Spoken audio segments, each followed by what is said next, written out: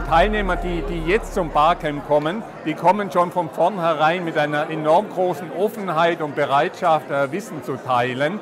Das war in den allerersten Barcamps noch ein Gewöhnungsprozess.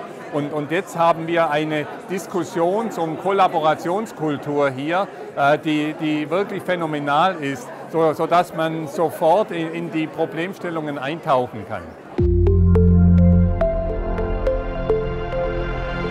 Wir arbeiten ja mit dem Etherpad und in den Sessions sitzen immer zwei, drei Leute, äh, die mitschreiben und dann die wichtigsten Stichpunkte der Diskussion und die Ergebnisse äh, dann, dann im Netz äh, dokumentieren, sodass man sie auch im Nachhinein nachlesen kann.